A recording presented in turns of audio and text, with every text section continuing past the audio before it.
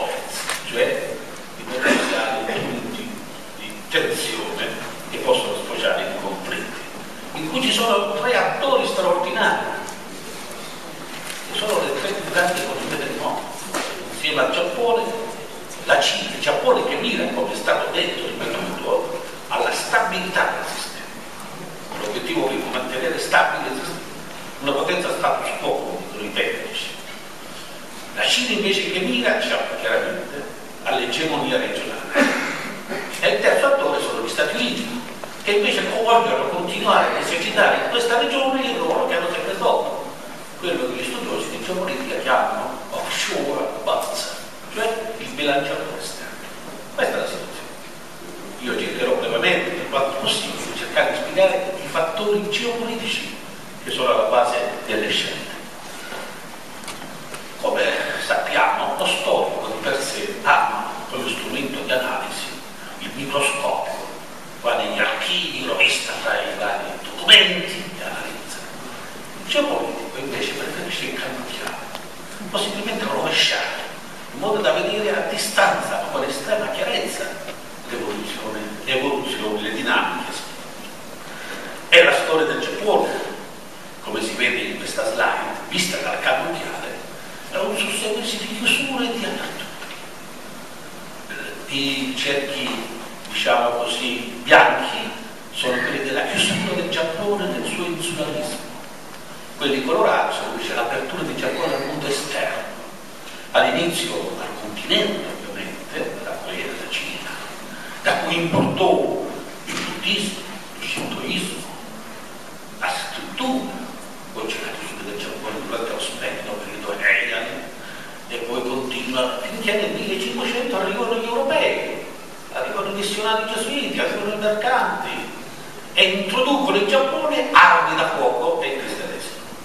Poi c'è la terza apertura dopo due secoli e mezzo di chiusure in catene, l'apertura del XIX secolo, quando le grandi potenze europee lanciano la loro sfida modernizzante, allora l'Europa è il centro del mondo per potenza, per ricchezza e per sapienza, grazie a quelle grandi rivoluzioni che aveva con successo svolte, la rivoluzione marittima con la scoperta del nuovo mondo, per cui il centro del mondo si sposta dal Mediterraneo all'Atlantico, e poi la rivoluzione galleiana, scientifica, l'applicazione della matematica e delle scienze applicate, poi la rivoluzione industriale, la diffusione del capitalismo nel mondo. La risposta data dal Giappone e dalla Cina a questa sfida dell'Europa, delle potenze europee, è completamente opposta, debole, incerta, insicura a quella della Cina e la Cina diventa una semicolonia, non solo delle potenze europee, ma dello stesso Giappone.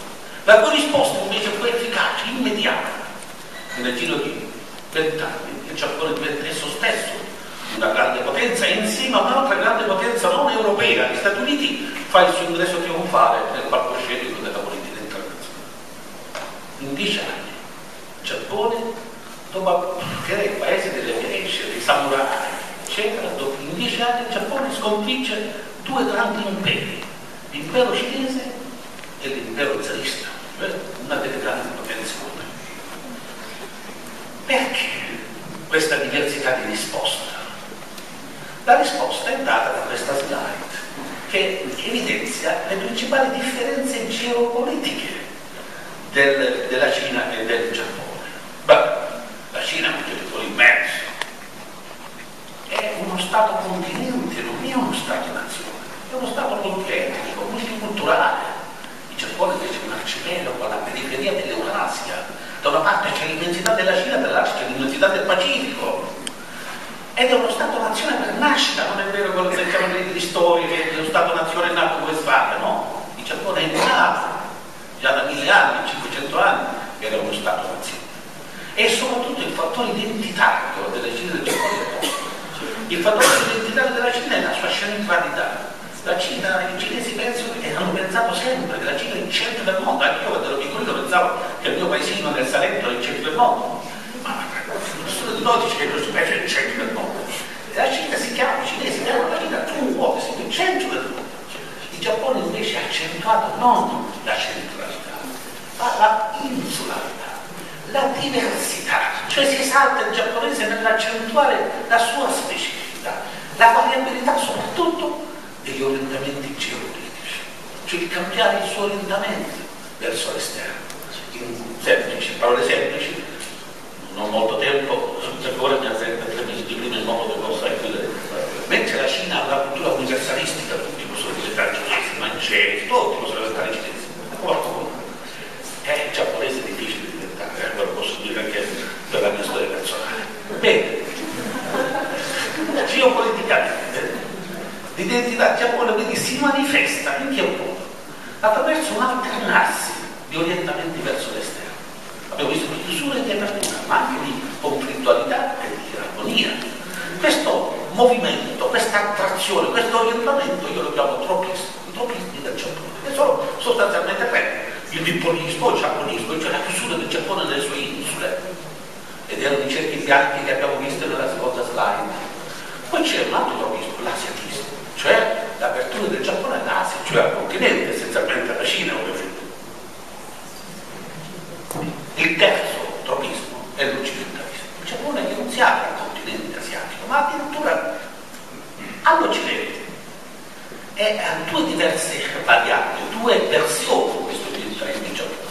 Il primo è il modello europeo, quando alla fine dell'Ottocento il Giappone si apre, accetta quella sfida, abbiamo detto fu coronato il successo, la sfida modernizzata dell'Occidente, si apre e apprende a modello l'Europa e lo slogan dominante era uscire dall'Asia e entrare in Europa. Questo usava il grande leaders dell'occidentalizzazione del Giappone.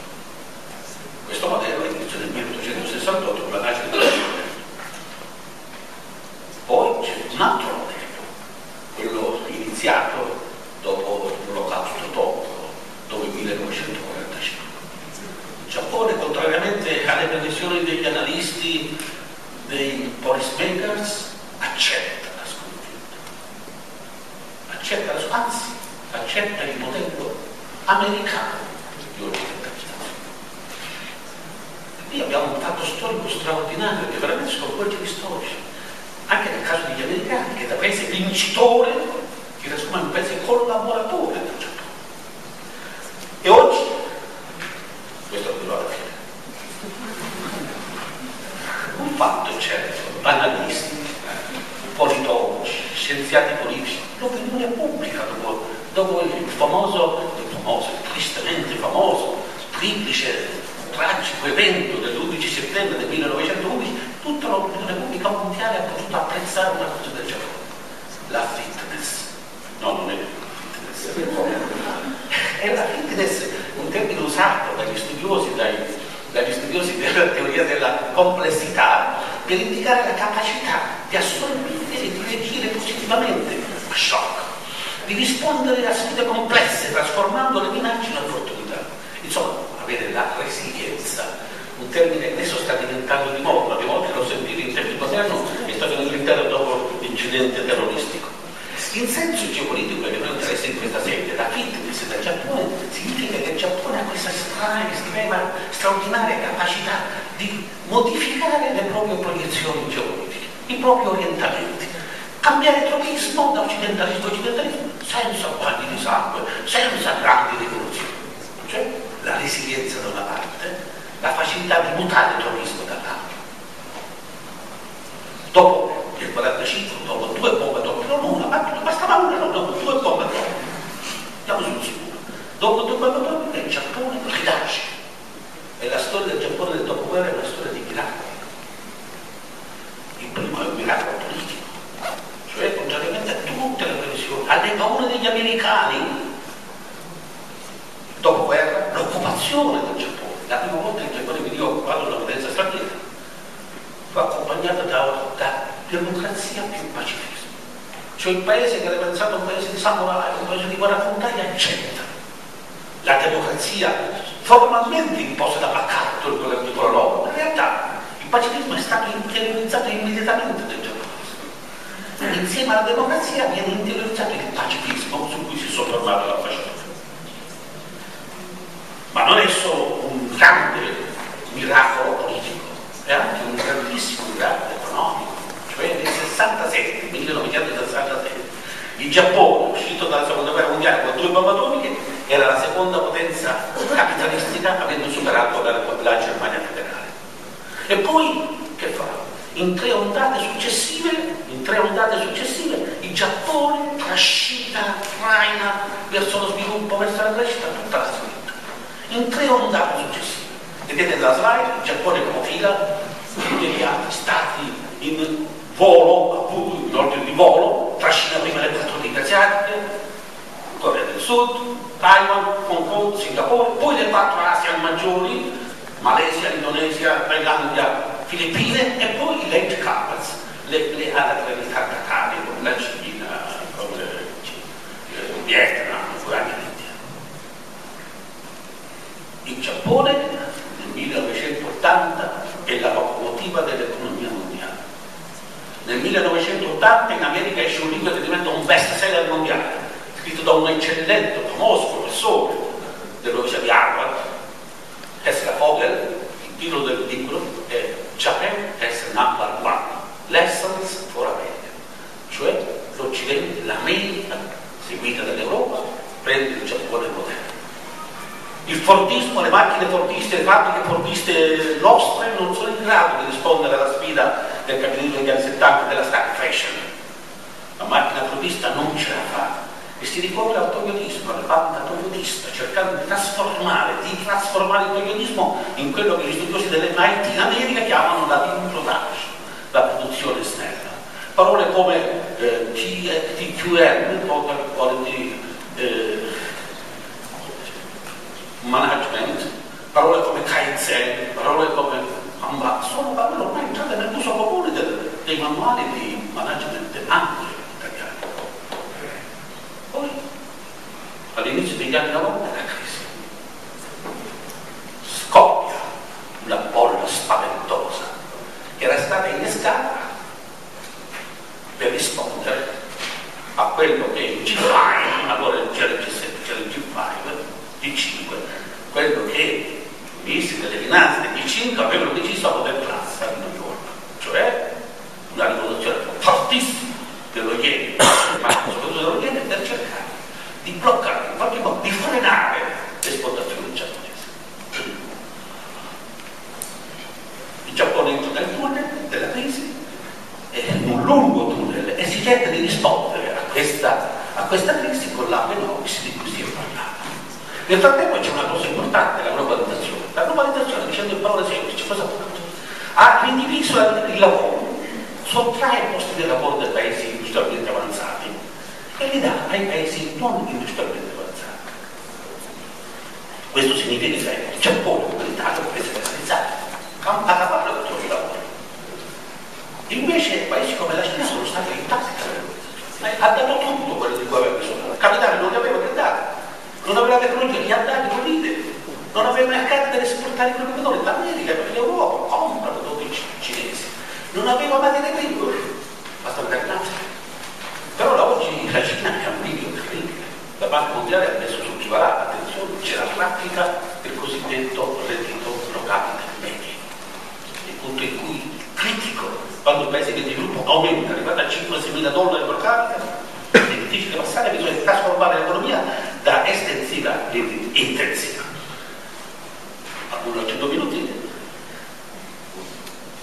Ecco, dal 1912, come abbiamo sentito, soprattutto quando al potere a Pechino arriva Xi Jinping, cambia la situazione, diventa più assertiva la politica estera cinese, con, con, con azioni di the ship, cioè di, di, di eccetera, nei confronti soprattutto del Giappone. Ambasciatore, io non credo che il problema delle Senkai sia un grosso problema sono manifestazioni di che cosa? Della nuova identità cinese che vuole far capire agli americani che ci deve essere una parità strategica.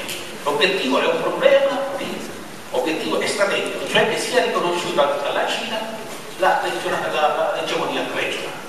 Non è un problema strettamente geopolitico. Quindi il sogno di Xi è fare della Cina l'egemonia regionale. Cosa che naturalmente non può essere accettata dagli Stati Uniti che vogliono, vogliono mantenere il loro ruolo di offshore balance, di bilanciatore esterno. Naturalmente anche il sogno. Il sogno di Ape, come ci ha spiegato già l'ambasciatore, è uscire dalla deflazione, l'Ape Nonnes, garantire la stabilità della regione. In che modo? Contenendo la Cina e quindi rafforzando la relazione con gli Stati Uniti.